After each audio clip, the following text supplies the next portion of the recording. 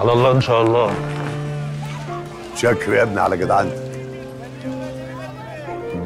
لو روح بنتك تسوى القرشين دول أنا الروح اللي خلقها ربنا تسوى عندي أكتر من كده بكتير. حط فلوسك في جيبك يا باشا أنا ما عملتش حاجة. خدهم. دول حاجة بسيطة عشان جدعنتك الجدعنه ملهاش ثمن يا دكتورة. وإحنا يعني كنا دفعنا ثمن الجدعنه اللي عملتيها مع المعلم بشر. جدع. جدعنه مش بالفلوس. تعالي. حاضر مش تخلي بالك من نفسك.